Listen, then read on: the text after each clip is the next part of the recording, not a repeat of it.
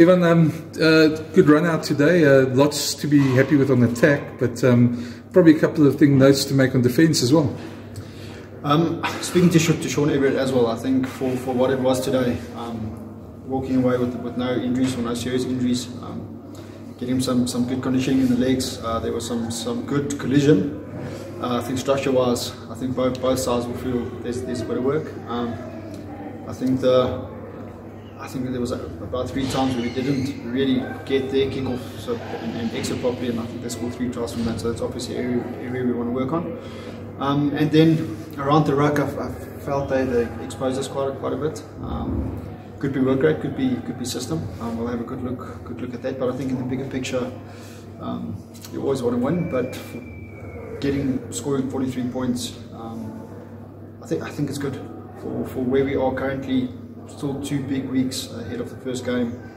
Um, not happy with the result, if you want to call it that, but, but for what we got, um, certain big moments, um, effort moments, I think it was good. Mm. You also struggled a little bit with their rolling ball at times as well. Um, yeah, I think the first pack handled well. Um, I think, and the, and the, second one is a bit of work, um, roll clarity um, that we got to sort out there. But uh, again, um, it's, it's, one of the work-ons for us mm. after the, the, previous season. Um, so to go that first 40 and uh, and get one or two solutions there, I think was good. But obviously, with the with the second pack, there's a bit of work. A lot was said. Obviously, a lot of maybe a bit of consternation with your supporters for losing a bunch of guys like Carlu and Vincent and that in, in the last season. Um, do you feel that the guys who stepped up now um, have have still played take their place, and and you've still got a couple more to come that you had, didn't get exposed to that?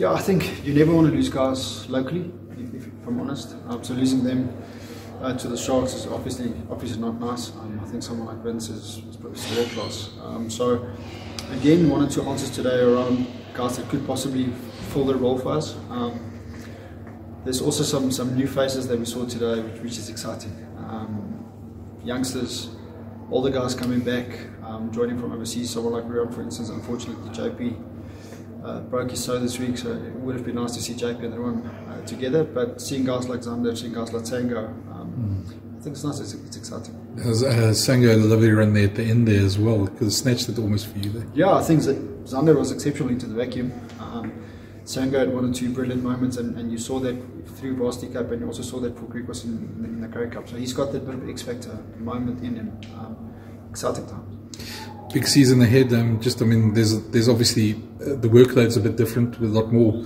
to come this season as well. Do you feel you you're in a good space where you are now two weeks before the start? Yeah, big season. Um, apart from the, the four European games that's on there, I think that the schedule is a little bit different this year where we're going to play over Christmas, play over New Year's. Second block, you know, we've got 10 consecutive games where seven is, is not at home um, with a fair bit of travel in there. So um, I think preseason was good for us in, in, terms of, of a solid conditioning and rugby base to, to, that should carry us through there. Uh, two big weeks for, for preparation for the Bulls, though.